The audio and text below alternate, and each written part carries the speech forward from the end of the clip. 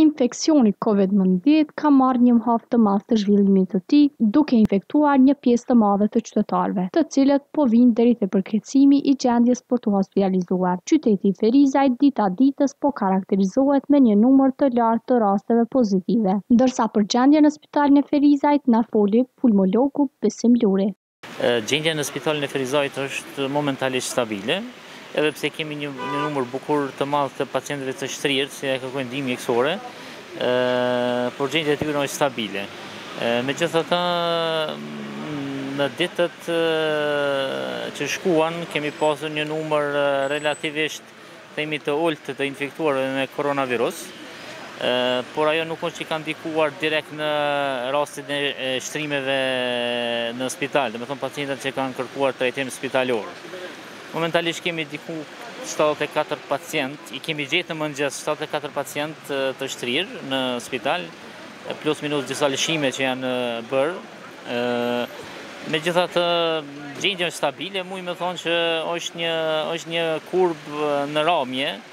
është një proces që ka ndodhur edhe në pandemitë e tjera që kurba shkon duke rënë, domethënë kah fundi i valës së katër, por numri i hospitalizimeve Është relativisht, themi i ulët, jo i ulët, relativisht i ulët, pasi që edhe me vetë faktin që smundja si e tillë kërkon një kohë më të gjatë që të zhvillohet si smundje dhe të lënë pasoja në mushkëri, kështu që tani vijnë edhe pacientë të cilat më herët kanë qenë të infektuar, ndoshta edhe janë negativ, por kanë probleme me mushkërinë, kanë infiltrime mushkërore, të cilat duhet të trajtohen në spital dhe kanë nevojë për oksigjen natyrisht. Kjo valë e virusit po konsiderohet si vala e katërt që u karakterizua me numër më të madh të vdekjeve të të infektuarve, ndërsa sipas pulmologut Luri ky numër i vdekshmërisë supozohet të vijë për shkak të variantit Delta, variant ky që ka një shpejtësi më të madhe të shpërndarjes. Kjo valë këtë valë e karakterizon varianti Delta. i cili është përshkruar edhe më herët si një formë e rrezikshme, më e rrezikshme e koronavirusit dhe numri i rritjes së vdekshmërisë për mendimin tim është për shkak të përfshirjes së masës. Kemi asnjëherë na nuk kemi, nuk i kemi pasur mbi 2.000 raste, ndërsa që gjatë kësaj vale të 4 kemi pasur mbi, mbi 2.000 raste në ditë, disa ditë me radhë, Edhe kjo ka bërë që automatikisht të rritet edhe